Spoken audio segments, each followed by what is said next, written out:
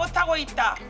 선거 전 국민의 힘과 선거 후 국민의 힘은 다른 정당인가? 국민을 위해서 한 약속을 손바닥 뒤집듯 하는 신뢰할 수 없는 정당이란 말인가?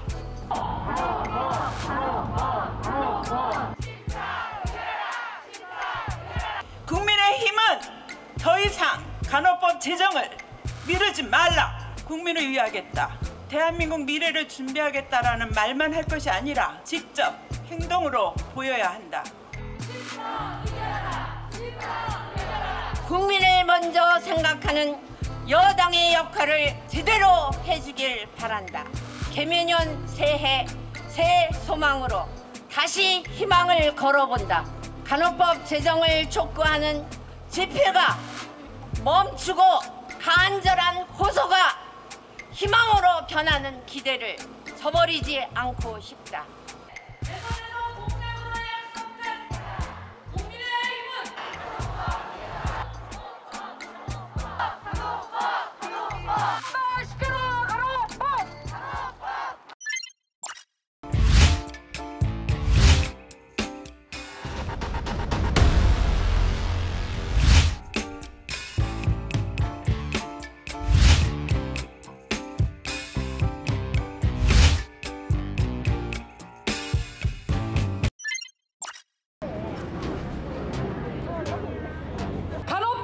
제정 즉각 이행하라.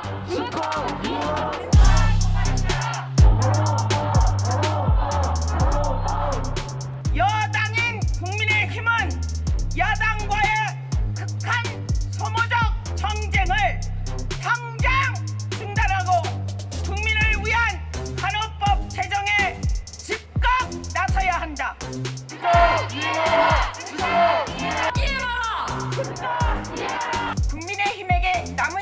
많지 않다.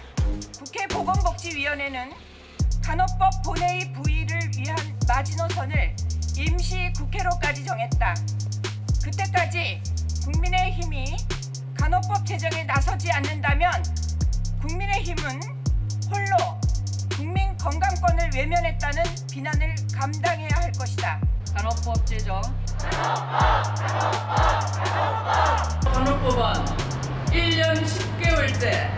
국회를 통과하지 만들었다. 국회 법제사법위원회의 241제 계류 중이다.